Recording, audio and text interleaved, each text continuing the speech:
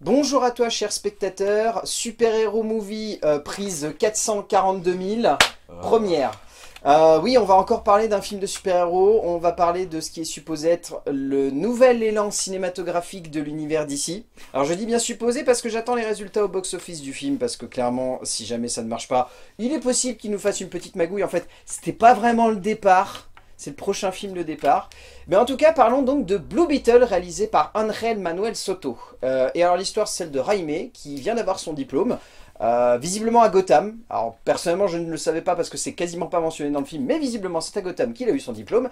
Euh, il revient dans sa famille, tout se passe bien, jusqu'à ce qu'il rencontre Jenny, une charmante jeune femme qui est en fait l'une des propriétaires de l'entreprise Cord, et celle-ci va lui confier un mystérieux petit scarabée bleu qui va décréter que Raime est quelqu'un de bien et qu'il peut devenir le Blue Beetle. En lui rentrant dans le cul, hein. oui, bien sûr. Pardon, j'avais oublié ce petit détail, mais en lui rentrant dans le cul. Euh, et pour en parler avec moi, bah, je crois pas qu'on ait tant que ça parlé de films de super-héros tous les deux, mon cher Colin. Non. Et je vais même dire un autre truc, c'est que... Euh, on va poser l'ambiance directe. Euh, on n'a jamais parlé de merde. On n'a jamais fait de merde ensemble. non. Il veut tout de suite placer une ambiance. Comment vas-tu? ah non, ça va, c'est dommage qu'on parle de Blue Beetle, quoi. Il y a plein de choses en salle. Oui, il y a plein de choses en salle actuellement, c'est clairement pas ça qu'il faut se limiter. Euh, non, clairement, pour placer un contexte, il y en a pas vraiment, parce qu'en fait, Blue Beetle, je pense que c'est un des super-héros de l'univers d'ici dont on se fout le plus, sans aucune animosité contre le film. C'est un peu le Ant-Man de chez DC. Non, mais clairement. Mais sans l'originalité. Et sans l'originalité, et sans le fait qu'à la base, il y avait potentiellement Edgar Wright aux commandes du film, qui avait une supervision du personnage et qui l'avait laissé tout du long. Supervision. Ouais, euh, mais là, clairement, ouais, Blue Beetle, on s'en fout un peu, malheureusement, sans vouloir être méchant ou euh, avoir aucune animosité contre le film. C'est juste que DC s'en fout un peu. Euh, la Warner n'a quasiment fait aucune promo autour du long métrage. je sais pas à quel niveau sont les entrées en ce, en ce jour de sortie du film, mais clairement, c'est pas très haut à mon avis personne de connu au casting à part Suzanne Sarandon qui est paumée. Euh, personne de connu au niveau de l'écriture, au niveau de la mise en scène parce que clairement ça n'est pas l'ambition principale. Euh, des exécutifs qui sont un peu en mode euh, ça peut être le renouveau de l'univers d'ici mais qui n'ont pas forcément la confiance. Je pense à Peter Safran ou je pense aussi à James Gunn qui aucun des deux en fait ne mise tant que ça sur le long métrage. Donc on est clairement sur l'archétype du film qui est un peu posé là parce qu'il doit être posé là et on sent qu'il n'y a pas vraiment plus d'ambition que ça derrière de la part de ses producteurs ou de la part de son équipe technique qui a l'air d'être juste investi au minimum syndical, surtout qu'en sachant que derrière, bah, on a tout de même la crise des acteurs et des scénaristes qui plombent la promo du film et qui empêchent d'avoir une vraie représentation de ce film euh, au niveau publicitaire. Donc contexte merdique placé, Colin, qu'as-tu pensé de Blue Beetle?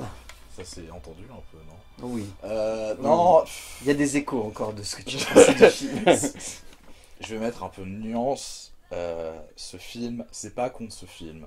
C'est pas contre le réel, c'est pas contre le perso, c'est contre rien de tout ça. Mais c'est vraiment, il arrive à un moment où j'en ai plein le cul du film de super-héros, mais vraiment j'en ai marre.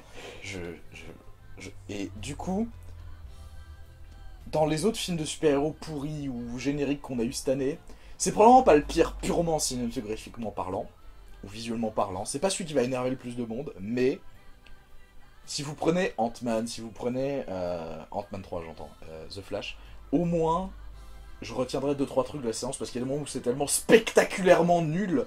Euh, je fais encore des cauchemars de Modoc, hein, je pense que tout le monde. que, au moins je m'en souviens. Blue Beetle, c'est même pas spécialement mauvais, c'est juste. C'est vide, y a rien. J'aurais oublié le film dans. La caméra va couper, le film sera automatiquement effacé de ma mémoire. Euh, alors que je, j'ai par curiosité, j'ai regardé l'interview du Ral. Je pense qu'il est sincère, qu'il a essayé de bien faire, mais tu as dit, on s'en fout un peu de Blue Beetle. Je pense que tout le monde s'en fout un peu de Blue Beetle, y compris les gens qui ont produit le film. Donc, ouais, c'est ça. C'est pas contre le film, mais mais moi je peux plus ce genre de truc. C'est c'est plus possible. C'est faut faire quelque chose. Eh ben, tu sais quoi, je te comprends. Mm. Après, je serais peut-être un petit peu plus positif, moi. Je, pense quasiment la même fiction que toi, sauf que j'ai pas passé un mauvais moment devant, honnêtement. Je me suis pas ennuyé. Bon, je dirais pas que j'ai été émerveillé devant le film, mm. mais disons que si vous aimez Spy Kids Iron Man, why not? Après, euh, c'est très générique, euh, c'est un point très important, c'est fortement ancré dans la communauté hispanique américaine, même dans la manière de concevoir les films. Il y a clairement une vibe qui fait beaucoup penser à certaines comédies hispanique que nous malheureusement on voit pas tant que ça en France, un petit peu plus depuis qu'il y a Netflix et depuis que certaines sont distribuées grâce à ça, mais sinon honnêtement, si vous avez jamais vu de comédie dans ce style-là, vous allez un peu vous demander dans quel univers euh, bis vous êtes tombé, parce qu'il y a plein d'éléments de, de, slapstick, de comédie, de jeu avec les personnages qui font vraiment penser à cet univers-là, et après, le gros problème, c'est que, bah, tu l'as dit, c'est hyper générique. C'est un film qui va prendre tout ce qui a marché ces dernières années dans un certain genre. C'est un film qui va mêler des aspects de cinéma qui font un peu dater. Clairement, il y avait des moments où j'étais en train de me dire je ne suis pas en 2023, je suis en 1993 en train de regarder un vieux film de super-héros avec un budget de 2023. Je me suis fait exactement la même réflexion, ça dirait vraiment un... Mais en fait, quand j'ai vu la bande-annonce, je me suis dit le film est ringard avant d'être sorti parce qu'on dirait vraiment un produit des années 90. Mais ça fait 30 ans, les gars. Euh, il est peut-être temps de, lâcher l'affaire. Et, même le design du Blue Beetle, je saurais pas expliquer. Il a une vibe. Comment il s'appelle La comparaison va être très méchante, mais Blue Beetle n'est pas aussi mauvais que ça, je vous rassure. Euh, et comment il s'appelle le film de super-héros avec un basketteur qui joue une espèce de cyborg? Tu vois de quel film je veux parler ou pas Alors très vaguement, ça me dit vaguement quelque chose, mais oui. C'est pas Cyborg, c'est autre chose, c'est Steel quelque chose. C'est pas Max Steel quand même. Parce que... Alors personnellement, moi j'ai eu une vibe Max Steel tout du long du film, hein, mais c'est... Mais honnêtement, j'ai vraiment eu cette vibe-là parce qu'on est clairement sur le même archétype et je, ça serait pas étonnant de découvrir qu'il y a une vraie référence autour de Max Steel dans la manière de concevoir le film parce qu'il y a un film Max Steel qui est sorti il y a quelques années, euh, c'était pendant le confinement d'ailleurs je crois chez mm. nous. Euh, vraiment, il y a eu des moments où j'avais des vibes de ce bon, c'est clairement pas non plus aussi mauvais parce que Max Steel était vraiment catastrophique, c'était limite un nanar, mais il y a vraiment ce côté un peu décalé, bis, sous-genre, euh, référence un peu obscure à certains films de super-héros, je pense, des années 90 qui étaient un peu ringards avant même d'être sortis. mais comme tu dis, c'est un film qui est, qui est kitsch. C'est le mot parfait en fait qui convient. C'est kitsch dans les décors, c'est kitsch dans l'ambiance, dans la musique, dans certains effets, dans certains jeux de comédie qui rappellent vraiment des vieilles comédies américaines, hispaniques des années 90. Enfin, il y a, un mood en fait dans le film qui, moi, me fait pas non plus passer un mauvais moment parce que je suis en train de me dire, bon, clairement le film est daté, mais c'est pas dégueu, c'est fun. Mais après, oui, c'est malheureusement, comme tu l'as si bien dit, le genre de film, peut-être quand on aura fini de terminer la vidéo et qu'on y repensera deux semaines plus tard, on se dira c'était quoi déjà Blue Beetle? Ça racontait quoi? C'est vrai que ça existait. ah non, mais c'est presque ça. et c'est pas non plus triste, mais c'est un fait, quoi. C'est bateau, quoi. Ouais. C'est clairement bateau. Euh, je te propose qu'on saute dans l'écriture parce qu'on n'a pas non plus grand chose à dire. Donc l'écriture c'est Gareth Dennett Alcolcel qui s'en est occupé, basé donc sur les personnages de DC. Euh, euh, je préchote un truc, moi je connais pas du tout le Blue Beetle des comics. Autant il y a des persos de comics pas très connus, je, peux peut-être vous dire si ça c'est de référence. Non, Blue Beetle je connais rien. Enchanté moi non plus. Voilà, je sais qu'il est bleu. Voilà, je sais qu'il est bleu et que c'est basé sur un scarabée. Point euh, non, en termes de mythologie pure, sans se baser sur les comics, euh, je trouve que la base est intéressante. Mais alors ici, on a, un, on a trois énormes défauts. Le premier défaut, rien n'est concrètement justifié. Et je dis pas non plus qu'il faut constamment tout expliquer, c'est pas nécessaire, mais rien n'est justifié. Hmm. Les motivations des persos. Pourquoi on veut absolument avoir le scarabée? D'où il vient? Euh, Quelle est sa nécessité? Quel est son but premier? À part euh, posséder un autre. On ne sait rien. Alors je dis pas non plus qu'il faudra avoir une ambivalence de dingue, etc. Mais à partir du moment où on a un scarabée qui vient de l'espace, qui est potentiellement un symbiote, et Venom, qui donc a sa pensée personnelle, va posséder quelqu'un, il peut y avoir quelque chose de très intéressant. non. ici c'est juste une voix d'IA, genre c'est Alexa de Amazon, qui va juste accepter euh, tes commandes, genre euh, crée-moi une arme, c'est manger une arme. Mm. Et du coup, moi ça me pose réellement problème parce que bah c'est... Rien n'a vraiment de poids en fait. C'est ça. Même les conséquences, elles sont jamais très énervées, il se passe jamais vraiment rien de grave. Euh, alors que si. Alors que si. Et c'est ça en fait le problème. C'est que oui, il y a de la... C'est un film, et ça par contre j'irais plutôt le mettre dans un point positif, c'est un film qui a de la gravité dramatique. C'est un film qui cherche vraiment à amener un poids par rapport à l'avancée du personnage. Il y a un élément oui, mais il y a plein de trucs aussi qui genre où t'as l'impression que il n'y a pas de conséquences, où on s'en fout un peu. Genre, euh, ah, il y a un exemple que j'ai qui est bien, mais c'est à la toute fin. Bah essaye de pas spoiler, mais d'évoquer vaguement le point par rapport à la maison, Oui, ok. Ils sont oui. devant la maison, euh, voilà. Il y a des gens qui viennent et t'es en mode Qui êtes-vous? Pourquoi? Je sais pourquoi ils ont fait ça, c'est pour le côté Ah, communauté hispanique, euh, je vais pas faire l'accent. Euh, Mais non, mais t'as raison, oui, hispanique, c'est- c'est- mais C'est pas justifié. on l'a. Enfin, peut-être que je. Je suis pas du tout euh, hispanique, je n'ai 0% d'origine hispanique, donc peut-être que oui, c'est quelque chose qui est très dans le commun, mais en fait, cinématographiquement, on a besoin que ça sorte de quelque part, on a besoin qu'on les ait montrés interagir un minimum avec leurs voisins, euh, qu'il quelque chose. Et pareil, la relation de cette famille, je la trouve pas spécialement réussie parce que j'ai tellement l'impression de voir des archétypes de comédie faire Hey, catchphrase, catchphrase, catchphrase, réenregistré, tu vois, c'est presque ça, certaines passages, quoi. Et du coup, euh, tout ce qui arrive à ces persos, je m'en fous un peu. Euh, notamment parce qu'il y en a certains qui sont un peu relous. La sœur? Par exemple, par exemple. Parce qu'autant l'oncle Rudy, personnellement, moi, c'est un des rares points positifs que je trouve dans cette famille où vraiment je trouve qu'il a, il a quelque chose. Il a une Ah, bonne vibe, il est bien un- écrit. C'est quand même un cliché. C'est un cliché, c'est un énorme cliché, mais de toute façon, toute cette famille est un cliché. Que ce soit le père ultra protecteur sur sa famille, que ce soit la mère euh, trop croyante qui euh, part en cacahuète en deux secondes et s'inquiète pour tout le monde, que ce soit la grand-mère qui cache vis- visiblement un mystérieux passé et qui va le révéler au fur et à mesure que le film avance, que ce soit la sœur qui est euh, comedy woman, Ouais, c'est ça. blague sur blague sur blague sur blague, rien de concret. Ou que ça soit l'oncle qui est l'intello de service qui, euh, en même temps, est capable de sortir des grosses punchlines et de et d'envoyer chier tout le monde. C'est des archétypes. Mais pour le coup, ça crée une attache. Ça comble un petit peu ce vide qu'il y a autour de justement le background qui entoure de cette famille, qui est dommage parce que ça sent qu'il est quand même très concret, Mm. très intéressant et qui a un- une vraie parabole par rapport justement au fait que visiblement le père et la grand-mère ont l'air d'être des immigrés clandestins Mm. Et que justement il y a une incidence par rapport au fait, et ça c'est très bien justifié qu'ils ne peuvent pas aller vers la justice Ouais. classique. Et ça, c'est très très bien fait, je Ça trouve. marche, ouais. Et de manière globale, je trouve que en point positif, le contexte social, même s'il est vraiment en toile de fond, est tout de même présent. Et c'est bon de le souligner parce que la plupart du temps, surtout chez DC, il y a rarement du social qui est évoqué. Mm. C'est-à-dire qu'on évoque vaguement dans, je prends bon, Batman versus Superman, qui est l'exemple le plus flagrant là-dedans, il y a un contexte, surtout politique, mais il est plus global. C'est Ouais. genre le procès de Spider-Man, euh, de Spider-Man, de Superman. Mais là, c'est dommage parce que c'est trop en toile de fond, mais ça reste tout de même présent pour nous rappeler quand même que ces personnages, ils ont besoin d'un super-héros. Parce que clairement, il n'y a personne qui se bat pour leur justice à eux. Donc cette partie-là, je la trouve plutôt intéressante. Mais encore une fois, on reste dans ce fait que c'est une toile de fond, que ça n'est pas forcément ultra présent. Et c'est un petit peu dommage. Et après, par contre, énorme point négatif, la méchante est... Oh putain, la méchance. C'est un méchant. Il n'y a rien d'autre.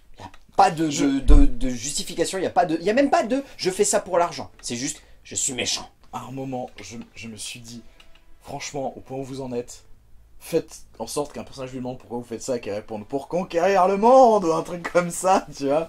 Parce Genre, que je le peux of course, tu vois, je sais pas, quelque chose comme ça, tu vois. J'ai un moment assumé, c'est tellement cartoonesque.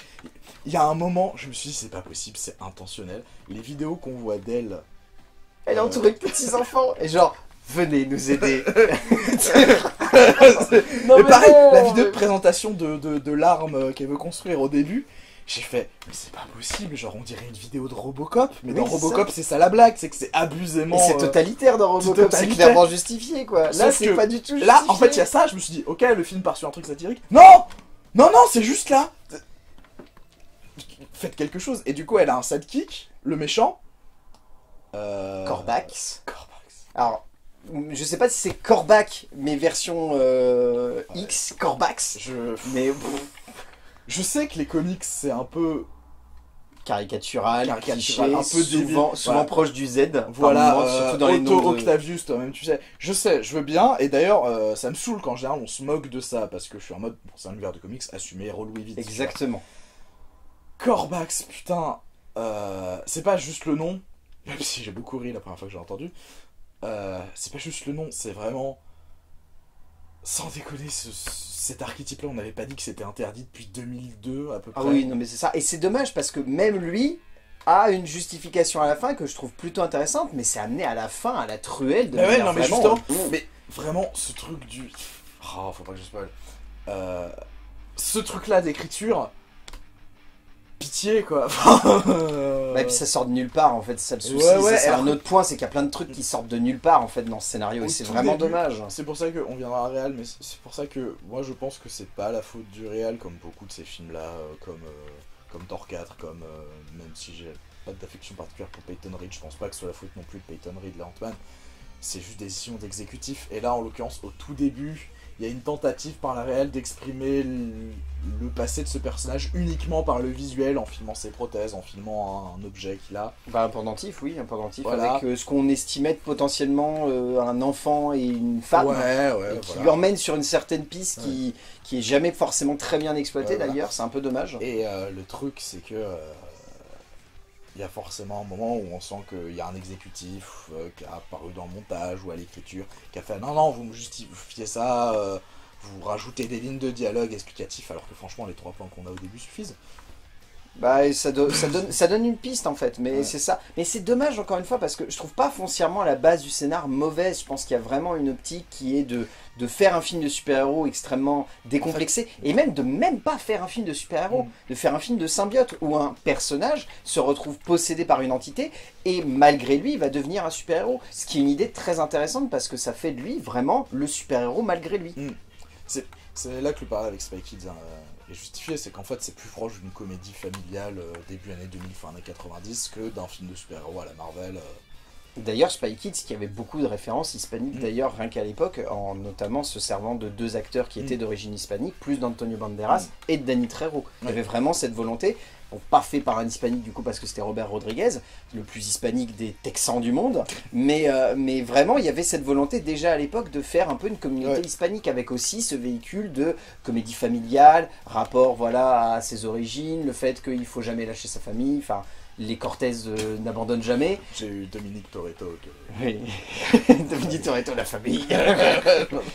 mais voilà, il y a- il y, a cette idée-là qui pourrait être intéressante, mais encore une fois, c'est au milieu d'un espèce de, de, bah, de, de mash-up movie, comme tu me l'évoquais si bien, qui se ressent clairement, où on a pris des refs à gauche et à droite, on a pris un contexte très hispanique et on a voulu le greffer à ça, mais du coup, bah, c'est au milieu d'archétypes, de clichés, de grossièreté, de facilité, de, non-développement, de, personnages, enfin, de, encore une fois, je reste sur cette méchante qui n'est pas une méchante, c'est un, c'est une entité Mm. diabolique, c'est tout. Parce que tu peux pas ne pas avoir un minimum d'empathie, quoi. Parce que les- les- Bien à partir du moment où on te dit, mais pourquoi vous voulez Scarabée? Parce qu'il est à moi. Non, il n'y a pas ton nom dessus. C'est, c'est- ça marche pas comme ça dans la mais vie. à un moment, quand j'ai vu des méchants plus profonds dans des, dans des cartoons de Tom et Jerry, c'est qu'il faut arrêter. quoi. Oui, Enfin, c'est clairement qu'il faut se poser des sacrées questions. En thème de mise en scène, euh, eh ben, ce cher euh, Angel Manuel Soto euh, nous propose une euh, mise en scène où il a tenté des choses. Je dirais bien tenter, parce que clairement on peut pas dire que ce soit une mise en scène qui ait une patte atypique. Euh, la seule patte qu'on pourrait vraiment identifier, c'est le contexte esthétique qui se dégage du film. Le fait qu'on soit dans une partie des États-Unis qu'on n'a quasiment jamais vu représentée dans les films de super-héros. mm. Donc là pour le coup, il y a une vraie originalité. Après, le souci c'est que c'est juste des petits trucs comme ça à gauche et à droite qui pop, où on se dit Ah, il y a une idée. Ah, il y a quelque chose d'intéressant. Ah, il y a un contexte. Ah, il y a une envie de vouloir parler de l'impérialisme, de la lutte contre celui-ci. Pourquoi pas? Mais on est typiquement sur un film où, comme tu l'évoquais si bien, il y a des exécutifs qui sont arrivés qui m'ont dit respecte bien ton cahier des charges parce que sinon tu en feras pas grand chose à Hollywood, mon gars. Et ça pose réellement problème parce que ben, c'est un film très impersonnel. Ah ouais. Non, puis en plus, ce que tu disais sur Mashup Movie, ça s'applique pas à l'écriture parce que euh, Ah non. euh, Blue Beetle de base, c'est un peu triste, mais en tout cas, avec le film, il ressemble à un mashup de plein de super-héros. On a pris le symbiote de Venom, on a pris le logo de Spider-Man, parce que logo était complètement le logo de Spider-Man. Et le logo Spider-Man récent, hein, enfin le logo des jeux vidéo et, Ouais. de- et des derniers films. On a pris euh, le. le- l'espèce de machine, de truc volant qu'ils ont à la fin. On dirait que c'est le truc volant qu'ils ont à la fin. C'est pas complètement le véhicule du hibou dans Watchmen. Si.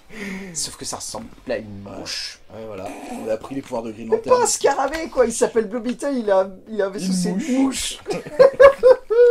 Le- le- on a pris euh, le, le délire un peu Iron Man. euh, voilà.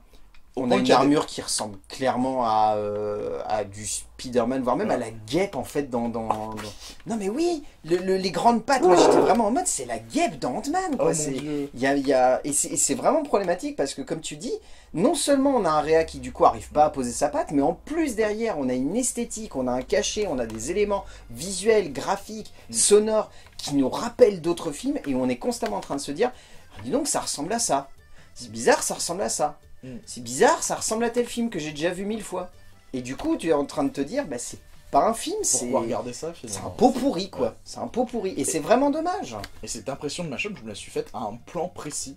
Genre, la première fois qu'il vole avec sa tenue de Blue Beetle, il y a un plan intérieur casque où on voit euh, sa tête avec euh, les visières et tout. Et j'ai fait putain, c'est un plan du premier Iron Man. Complètement. Et genre, qui était un. un- bon, même si euh, je vais pas dire que John Favreau était le réel avec le plus c'est du monde, qui était un petit parti pris de reprendre ce code bah, un peu d'animé japonais, Ouais. de l'appliquer à Iron Man et de se dire, allez, ça va permettre d'avoir un plan intérieur d'armure pour varier un peu. Enfin voilà, ce plan-là, il est. Je vais pas dire qu'il est iconique, mais c'est vrai que c'était une des petites idées sympas du premier Iron Man. C'est ça. Et là, il reprend ça, mais il le fait genre deux fois.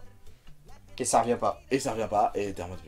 Mais c'est dommage parce qu'en soi ça permet de... Et il y a un autre plan que je trouve dans le même genre, tu vois, où je me suis posé la question de l'intérêt. C'est un plan où en fait, je sais pas si c'est qu'ils ont pas voulu faire d'effets spéciaux là-dessus, mais en gros, ou alors c'est vraiment un parti pris qu'ils ne contrôlent rien en fait. Mm. Mais quand on est à l'intérieur de l'armure, il y a des fois où on a des plans uniquement sur les yeux de Raimé. Mais quand je dis uniquement sur les yeux, c'est que les yeux. Et on a juste la lumière. Ouais. jaune des, des, des- Ouais, ouais. des, des yeux qui se dégagent. Et j'étais en train de me dire, alors attends, soit c'est vraiment qu'ils savaient pas quoi faire de ce plan, ou ils ont voulu faire un truc comme Iron Man mais ils sont foirés, soit c'est qu'il y a vraiment le parti pris de vouloir montrer que le perso n'a aucun contrôle Mm. en fait sur ce qu'il est en train de faire, et donc que du coup, bah, il peut juste par les yeux en fait donner euh, Ouais. quelques ordres quoi. Je sais pas, mais c'est plein de trucs comme ça où on se dit constamment dans le film, il y a une idée, mais elle est pas allée jusqu'au bout. Le film, par moment, est limite proche d'un espèce de film d'épouvante. La première transformation de Jaime en Blue Beetle, il y a des moments Ils où... ont choisi un rendu d'effets spéciaux qui est quand même vachement connoté, quoi. Oui, c'est ça, c'est limite, euh, c'est limite craspec, quoi. Mm. C'est euh, les persos, les- les- la famille est limite en train de croire qu'il est possédé, quoi, parce qu'il y a vraiment ce côté, euh, ça le gangrène, ça le brûle, Il y a ça, des trucs ça qui lui- sortent de la peau et tout. Et... C'est ça, il y a des trucs qui lui sortent de la bouche, des yeux qui sont limite en train de devenir jaunes, euh, Mm. complètement révulsés. Enfin, il y a, il y a une ambition. Et ça revient pas du tout dans le film à d'autres Mm. moments. Et je me suis dit, c'est dommage, parce que quand même, c'est radical, ça, comme truc. Alors que même Venom assumait un peu plus son côté. euh, Ah, mais Venom avait une interdiction moins de 12 ans. Oui, c'est vrai. Ouais, mais, mais qu'en France, tu vas me dire non, parce que aux États-Unis, c'était PG-13, c'était, ça avait une ça avait pas une interdiction si élevée que ça. oui, hein. non, c'est effectivement. Ouais, non, donc non, non, non, en fait, t'as raison. Mm. Ça marche dans les deux cas, ça marche. Mais c'est comme euh, à la fin du film, on a un plan où on a vraiment un truc qui est radical, il y a vraiment une belle gerbe de sang qui vient exploser à la gueule du, du spectateur, et où je me suis dit, la vache, c'est quand même audacieux dans un film qui est supposé être pour toute la famille, quoi, d'avoir un truc vraiment aussi radical et un Sauf peu gore, démorçaient par une blague. Voilà. Voilà. Merci Marvel. C'est vrai qu'en plus, euh, c'est- un super modèle d'écriture, moi j'adore. Oui, c'est ça, non, mais parce que c'est le gros souci, c'est que on n'en a pas forcément trop parlé, mais c'est vrai que là-dessus, on peut évoquer ça de manière générale sur la mise en scène d'Anhelm Manuel Soto. C'est marvelisé à crever, quoi. Et vraiment C'est pas sa mise en scène du coup, c'est encore une fois, c'est.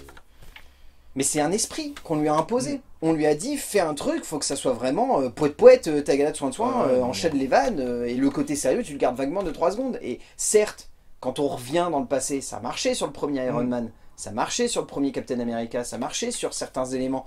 Mais au fil du temps, ça s'est démocratisé, c'est en train de gangréner un univers qui avait justement ce sérieux qui contrastait, Mm. et qui était, bon, certes parfois un petit peu trop premier degré, et qui donnait lieu à des films où on était en train de se dire, franchement les gars, détendez-vous, c'est- too much, mais au moins ça avait son identité. Et là aujourd'hui, bah, Blue Beetle, on me dirait demain, euh, ah bah Blue Beetle il va rencontrer euh, Captain America et euh, Iron Man, Ouais. je serais en mode, bah c'est pas étonnant quoi, Ouais. il est un peu dans le même style d'univers. Et c'est un peu dommage quoi. Ouais, non, mais C'est un clair. film, encore une fois, qui potentiellement a une vraie identité, a une vraie envie de vouloir parler d'autre chose, ou de quelque chose différemment, qui a envie de faire une comédie de super-héros, où le super-héros est presque juste un élément de toile de fond, puisque le personnage principal n'est pas super-héros par sa volonté, mais parce qu'il est contrôlé par un symbiote, et ça pourrait donner lieu à des instants de comédie et de slapstick qui pourraient être vraiment créatifs. Mm. Où on a vraiment, bon certes, euh, le personnage qui parlerait trop, mais qui parlerait trop parce que justement, il peut rien faire d'autre. Mm. Et c'est pas assez développé ça par exemple. Je m'attendais vraiment à ce qu'on ait une comédie, genre vraiment où, où toutes les deux secondes le personnage essaye de se battre avec son entité et lui dit euh, non on fait pas ça, on fait pas ça, on fait pas ça. Et ça pourrait être vraiment amusant. Mais euh, bah, c'est trop sérieux, quoi. C'est trop Ouais, sérieux en même temps pas assez, quoi. Mais ce que je disais aussi sur. euh, c'est pas tant le film, c'est juste que c'est une espèce de compilation de tout ce dont j'en ai marre. Pareil, il y a un moment où, genre, euh, oulala, plan séquence d'action. Et pareil, j'ai l'impression que c'est tellement devenu un automatisme dans les, Mais c'est un dans automatisme. les blockbusters en mode, hé, on veut faire un plan un peu stylé, regardez, on va faire un plan séquence. Waouh, mec, j'ai jamais vu ça.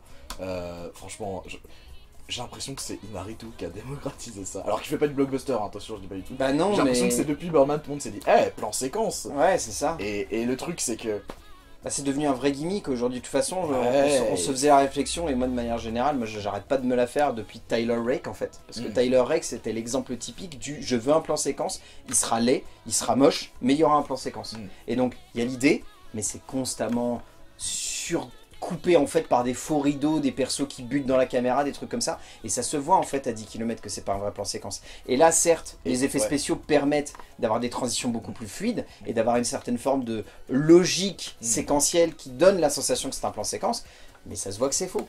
Et encore, euh, Tyler Rake, euh, je trouve qu'il a au moins pour lui, euh, sur cette- scène de plan séquence, euh, une choré qui a, un peu, qui a un peu de patate, quoi, qui est un peu brutale. Et là, là, il y a plein de trucs. Je sais pas si c'est la mise en scène, si c'est le montage. Il y a plein de trucs qui sont incroyablement mous. Il y a vraiment genre Bah, des la scène quand ils se battent devant la maison, Oh, il putain, n'y a pas d'impact.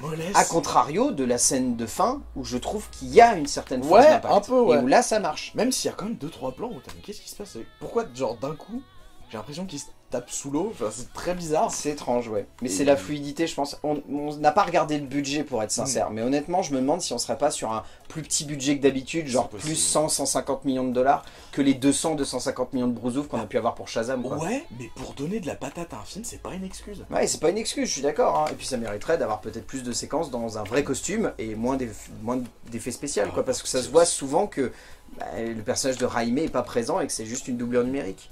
Et ça demanderait, ouais, d'avoir plus des, des... bah, plus de capoeira, quoi, bordel. hein, parce qu'il y a clairement, il y a des moments mais où oui, un de la moment, capoeira. faites un truc hispanique, euh, je sais pas, euh, jusqu'au voilà. bout du cliché. Euh, vos Faites de la capoeira qui ouais, bastonne, quoi. Faites voilà. de la capoeira. euh, On vous en voudra pas, clairement on vous en voudra pas, il n'y aura pas de souci avec ça.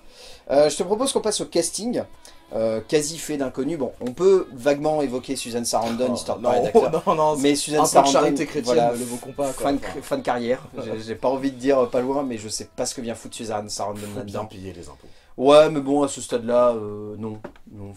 Bah, j'espère vraiment qu'elle a touché un bon truc pour pouvoir bien payer ses impôts, hein, parce que sinon, c'est c'est quand même la grosse tristesse. Ça hein. faisait longtemps que ça m'avait pas rendu triste de voir quelqu'un dans un film.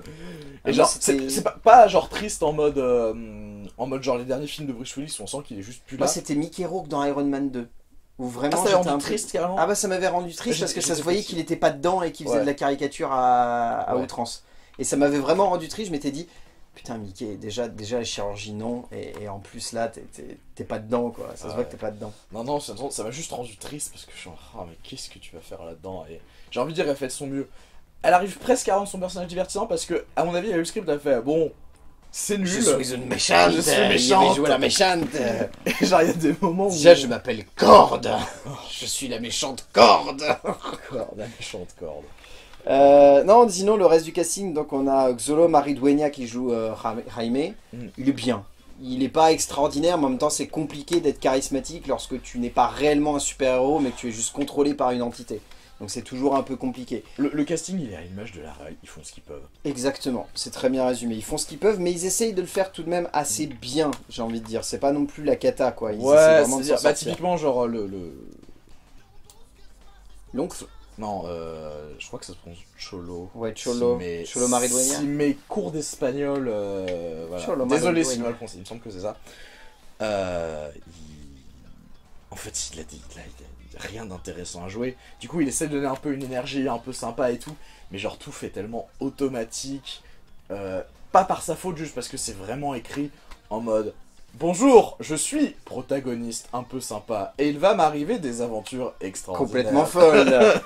ah non, mais ça se ressent aussi du côté de Bruna Marquezine qui joue Jenny, qui est vraiment. La, euh, la scène dans la maison de son père où il manque de s'embrasser, j'étais oh la vache. Ouais, non, mais Je crois que Il vraiment. n'y a pas d'alchimie, en plus, c'est ça qui me pose problème, c'est qu'il n'y a vraiment pas d'alchimie. Mais comme Damian Alcázar, comme euh, Jorge Lopez, comme euh, Adriana Barraza, comme Belisa Escobedo, comme euh, Alpida Ca- Carrillo, enfin, les trois quarts en fait de la famille, sur le papier, why not? Jorge Lopez, c'est un acteur qui, qui, qui, vraiment est hyper connu au Mexique. C'est un mec qui a fait un paquet de comédies, mais allez voir sa filmo, c'est hallucinant, c'est vraiment une sommité là-bas.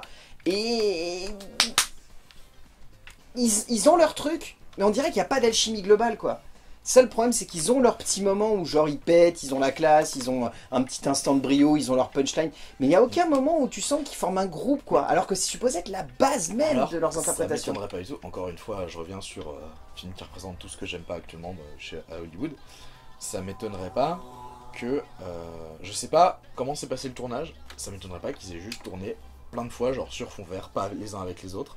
Parce que ça se fait tellement en ce moment Hollywood. J'espère que c'est pas le Et cas. genre, il y a vraiment des mots. Enfin, euh, pas sur ce film-là, je j'en suis pas sûr, donc je peux pas euh, le dire à 100%. Mais je sais que j'avais vu un plan d'un Marvel, je sais plus. Oui, le C'était. Black Widow. Genre, elles sont sur un Porsche. Ils ont fait ça sur fond vert. Et non, mais les gars, vous pouviez pas trouver un bar avec un Porsche dans moins de 100 mètres autour du studio, quoi. C'était trop. trop compliqué. Tu te rends pas compte, c'est trop compliqué. C'est trop compliqué. Non, là, je pense qu'il y a une base de décor, mais c'est juste que ils sont, ils sont, c'est c'est pas assez. Non, il y a un plan où je me suis dit que ça fonctionnait. C'est le plan où Raimé doit retourner voir Jenny.